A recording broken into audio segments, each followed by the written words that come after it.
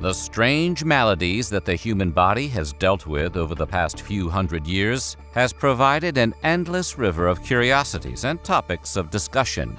However, some medical phenomena are so outlandish and bizarre that it's been passed down from generation to generation. Today, we're taking a deep dive into some of the most utterly insane medical stories from throughout global history. But before we get started, be sure to subscribe to the Weird History channel after that, leave a comment and let us know what other infamous time periods you would like to hear about. Okay, let's investigate.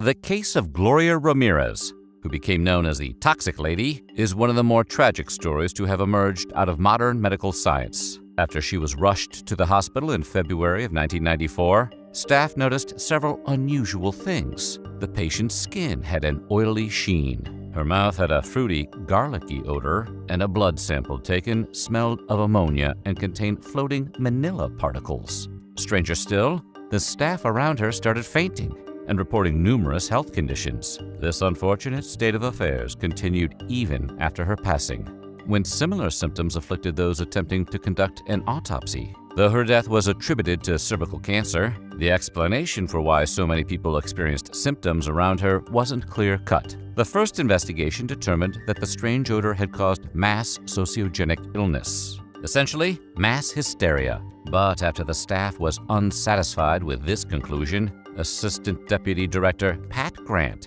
took another look and came up with another theory. Grant believed Ramirez had been covering herself with a substance called DMSO, dimethyl sulfone, presumably thinking it would cure her cancer. The substance becomes dimethyl sulfate when exposed to oxygen and, when breathed in by humans, causes many of the very symptoms reported by the staff encountering Ramirez. DMSO was marketed as a cure-all in the early 60s, before it was labeled as a toxic substance. Still, Ramirez's family denied that she ever used DMSO, and a definitive answer remains elusive.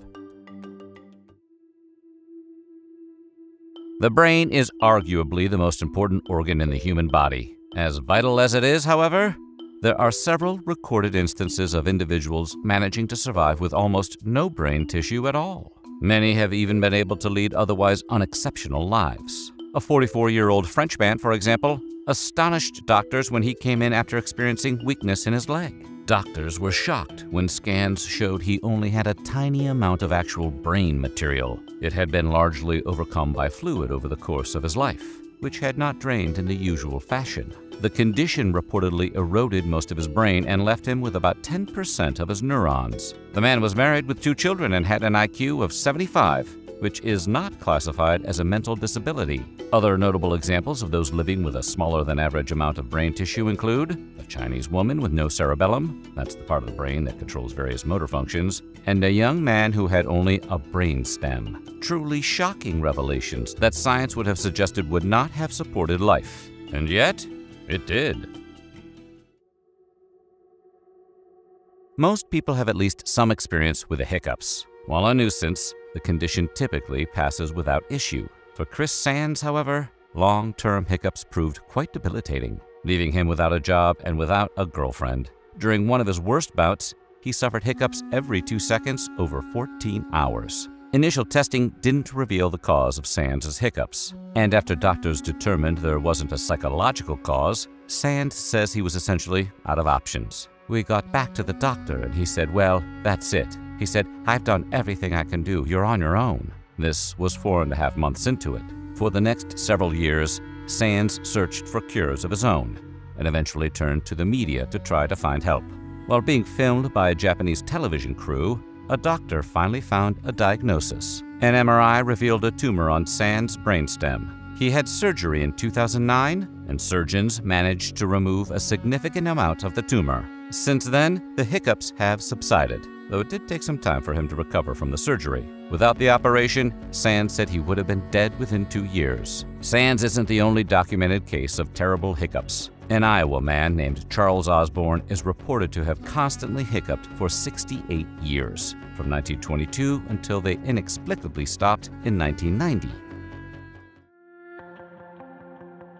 The history of medicine is filled with individuals who survived traumatic accidents, but few endured quite as much as Phineas Gage, who, while working on a railroad in Vermont, survived an iron rod driving through his skull. Though he survived and was apparently even able to joke with a doctor on the day of the accident, he was left scarred and blinded in one eye. The impact of the injury went far beyond blindness, however. The brain trauma changed Gage's personality in substantial ways, and many of his acquaintances reported he was an entirely different person than he had been before the incident. A doctor who treated him claimed that the balance between his intellectual faculties and his animal propensities seemed to have disappeared. The change was so drastic that the railroad construction company, where he'd suffered the injury, refused to take him back as an employee. Gage passed away at the age of 36 at the home of relatives. He would go on to become one of the most famous individuals in the history of neuroscience, and his skull is still on display at Harvard's Warren Anatomical Museum.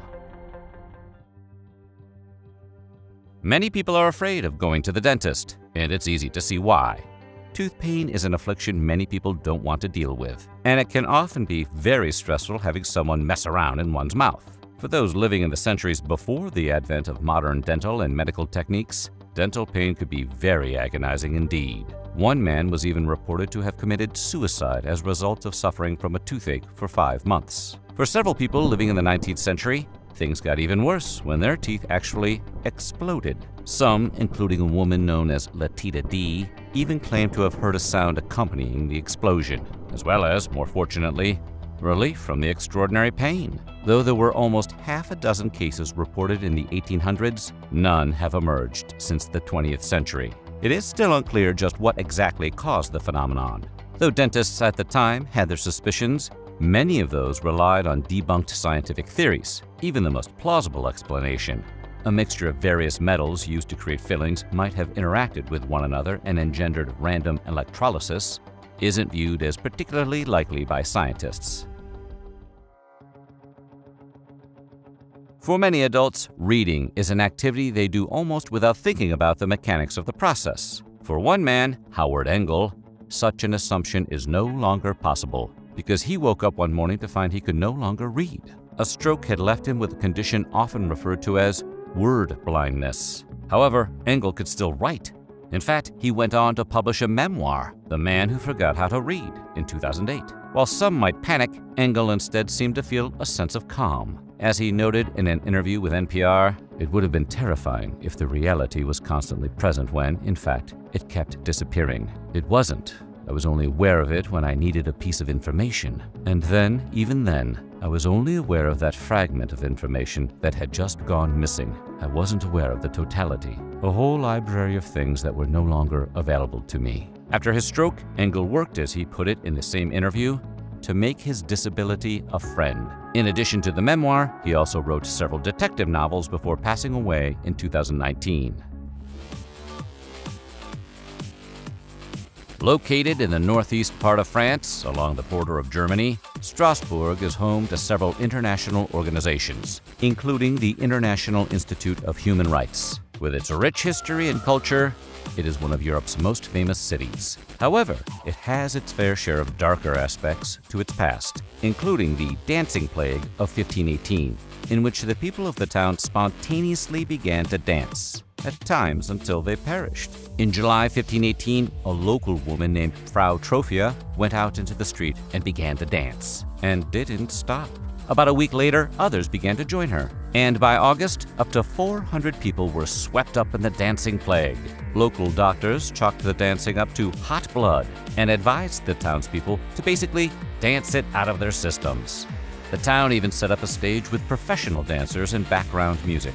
But the plague continued to a dangerous degree, with many collapsing from exhaustion and some passing from heart attacks or strokes. The dancing finally came to a stop in September.